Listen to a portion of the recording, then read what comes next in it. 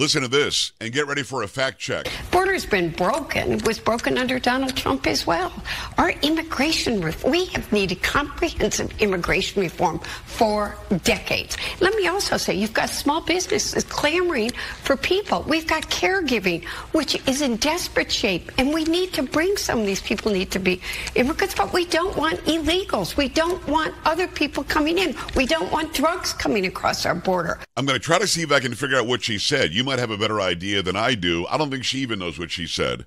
But the previous administration did have the border closed. It was the lowest number of people coming across illegally in 60 or 70 years. Under this administration, the border's wide open. And you've got more people crossing than we've ever seen in the history of this country. I mean, ever in the history of our country. But what did she talk about? We need people to come and care for people who are not feeling well or something. Come on.